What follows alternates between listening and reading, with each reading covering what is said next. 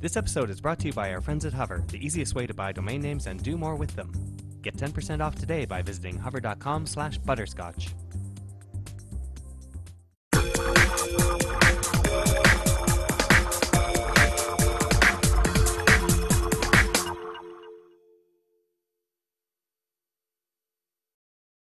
Andy Walker here with Butterscotch.com at the Sharp booth. Hey, I'm going to show you a product that you can't really show you because it goes in a dark room and it's 3D, which is hard to show you on camera. But I'm here with Abraham, he's going to explain it. So this is a brand new uh, 3D capable DLP projector from you guys. Yes, this is our first Sharp 3D projector.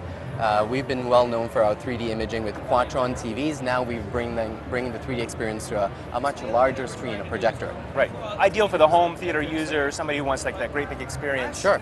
And, and 3D, of course, you know, is sort of a hot new thing in, in movies and sports, I guess. Most people who are experiencing 3D want a large screens, and nothing will get you a bigger screen than a projector. Of course, you just blow it all the way up, right? Absolutely, and we're not going to sacrifice quality of picture either because this is a very bright projector, 1600 lumens, and at the same time, great contrast ratio, so you get those really deep, dark blacks and really strong whites. It's a gorgeous picture. Yeah, very good.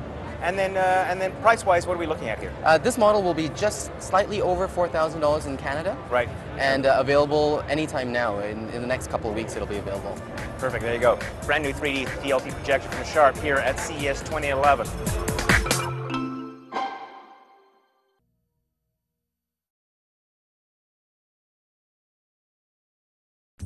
This episode is brought to you by our friends at Hover, the easiest way to buy domain names and do more with them.